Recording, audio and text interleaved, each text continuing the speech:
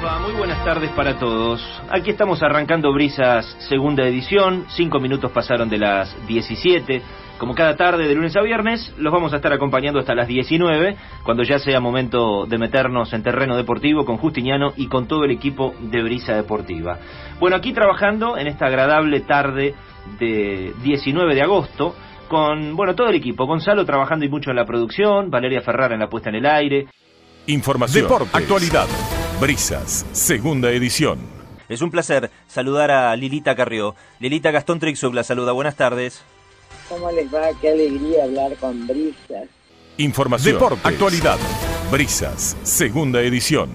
Y Grooming Argentina justamente trabaja con esto, porque el dato que nos llegó a través de un informe, atención con esto, es que uno de cada cuatro chicos y adolescentes, niñas y adolescentes en el país recibió un pedido de fotos íntimas en Internet. El número es contundente, uno de cada cuatro, a través de este informe donde este, se trabajó en más de 5.000 chicos de entre 9 y 17 años que dieron detalles sobre estas actividades en las redes sociales. Bueno, es un placer sumar a Radio Brisas, como ya lo hemos hecho en alguna otra oportunidad, al doctor Daniel López Rossetti, médico, escritor, eh, aquellos que lo seguimos en redes sociales disfrutamos mucho con sus consejos, sus recomendaciones, y lo convocamos para hablar de su último libro, su último trabajo que se llama Estrés, Sufrimiento y Felicidad.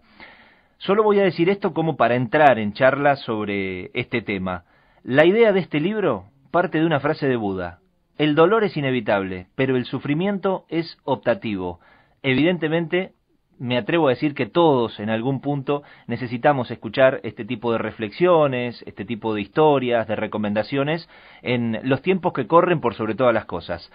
Algunos, muchos, hemos leído eh, las historias clínicas, el capítulo 1, el 2, que hablan un poco de, justamente las historias clínicas de, los eh, próceres o personalidades importantes de la historia, lo cual fue muy revelador.